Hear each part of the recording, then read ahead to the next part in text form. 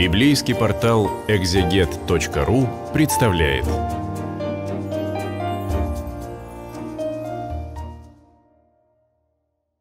Двадцать третья глава Иова, читаю свой перевод с небольшими комментариями для портала «Экзегет». А Вот здесь Иов отвечает на первую речь Элифаза, жесткую речь, очень злобную речь.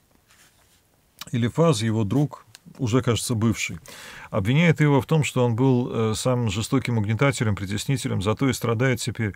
И говорит ему, да помирись ты с Богом, вот вложи его слова в свое сердце. Вот, э, вы знаете, если бы я был Иовом, не дай бог, конечно, я бы ответил Элифазу, что ж ты врешь-то про меня, ты докажи свои обвинения сначала, потом говори. Иов как будто не замечает обвинения Элифаза. Странно, да? Его обвинили в том, что он притеснял там вдов, сирот, нищих, что все его богатство вот высосано из честных простых людей. И за это он теперь получает наказание по заслугам.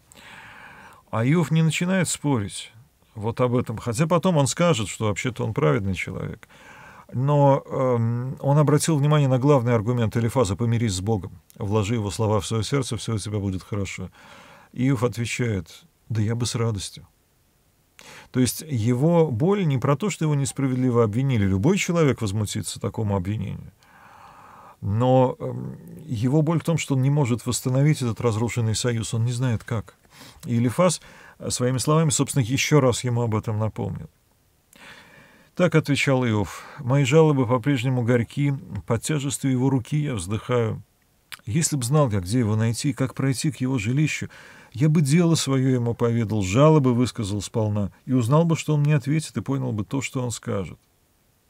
Смотрите, э, все они говорят о величии Бога, но друзья обычно говорят о Боге как о некой абстрактной высокой силе. А Иов так по-домашнему, да я в гости к нему пришел, Э, на чаек, ну ладно, чая тогда не было там, на вино с водой, на, не знаю, легкий ужин, и сказал бы ему, как я мучаюсь, и он бы, наверное, что-то мне ответил хорошее. Да, вот э, Иов хочет с Богом дружить, он хочет быть ему близким. А друзья все говорят о Боге как о бесконечно далеком, высоком и слишком таком праведном, э, слишком гневливом божестве, чтобы вообще к нему приближаться. А для Иова он свой бы был, да вот как пройти к нему? Судился бы он со всей своей мощи? Нет, он бы ко мне прислушался. И там честный, мог бы с ним поспорить, и я бы справедливости добился. Слушайте, вот это потрясающие слова. Бог всесилен, и вот что он будет на меня давить, вот я, э, мошка такая, приползу к нему, а он меня прихлопнет? Да нет, конечно. Он бы прислушался ко мне. Вы меня не слушаете, говорит он друзьям, а Бог бы прислушался. Другое дело, что я к нему пробиться никак не могу. Вот эта уверенность э, в том, что Бог — это не столько могучая сила, которая наказывает, сколько э, кто-то очень близкий, кто выслушает и пожалеет всегда, что бы ни было. Вот это удивительный урок книги Иова. И когда потом э, Бог скажет, друзья говорили не так верно, как Иов, ведь, наверное, как раз об этом. Но пойду ли на восток, его там нет, и на западе его не встречу. Вершит ли, что на севере, нам не видно, на юг ли повернет, я не замечу.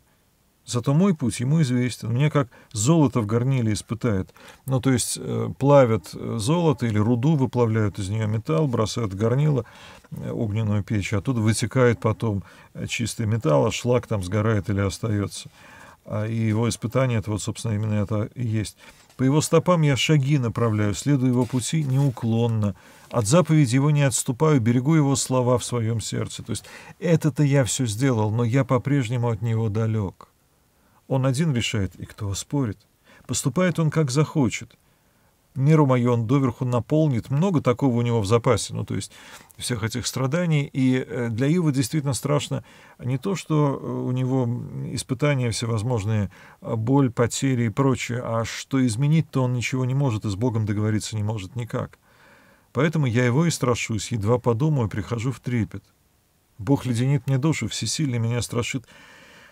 Если б я мог во мраке сгинуть, если бы тьма легла мне на очи, вновь он э, хочет умереть. Ну, здесь еврейский текст совсем непонятен. Конъюнктура еще есть. Другой вариант. Все же я не сгинул во мраке, тьма еще не, не легла мне на очи. Но общий смысл это, конечно, про смерть. И вот э, смерть это в том числе повод задуматься о происходящем, повод попытаться хоть что-то уладить с Богом, каким-то образом изменить эту судьбу.